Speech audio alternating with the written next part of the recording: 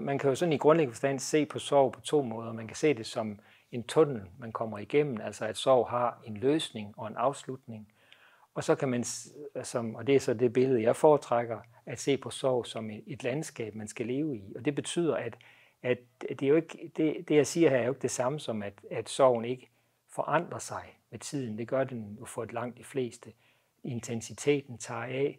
Øh, men det, man oplever, det er, at, at så kan der ske noget altså i det der landskab, som minder en om, at man har mistet. Og så kan man have sådan en følelse af, at man bliver slået hjem i ludo. Altså, så bliver man ligesom, ryger man ind i det der mørke igen, i den der fortvivlelse igen. Og så er der mange, der tænker, jamen, jeg er slet ikke kommet videre. Ikke også? Øh, og der tror jeg i hvert fald, at jeg kan se, at det er hjælpsomt for, for mange at tænke, det er at ikke tænke på den måde, men tænke, jamen det er sådan en, en pendulering. Det er sådan en, en bevægelse. At nogle gange, jamen så er man derude på, hvis man nu skal blive i billedet med, med landskabet, så er man der på den der øh, solbeskinnede eng, ikke også, hvor man kan se solen stå op, eller høre fuglene synge, sådan i overført betydning.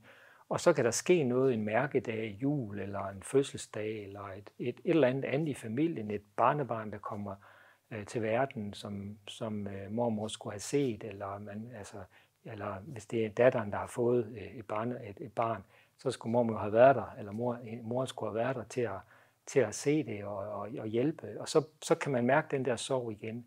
Og der tror jeg, det er vigtigt at holde fast i, at det er ikke fordi, man ikke har bearbejdet sin sorg godt nok, men det er fordi, det er sådan, sorg er. At det er på en måde et landskab, man skal leve i. Det, altså det, der, nogle, nogle gange fylder sorgen mere end andre gange, og det kan den sådan set blive ved med, selvom der går 50 år.